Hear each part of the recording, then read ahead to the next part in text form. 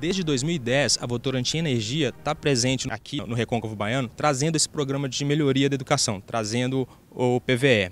A partir de 2017, eh, nós fizemos aqui um polo de formação. Isso ajuda principalmente a é, nivelar o conhecimento e ajuda também a compartilhar experiências. PVE é a parceria Votorantim pela educação. Ela consiste no apoio para que os índices educacionais dos municípios onde a Votorantim Energia tem participação, onde ela está inserida, para que esses índices sejam melhorados.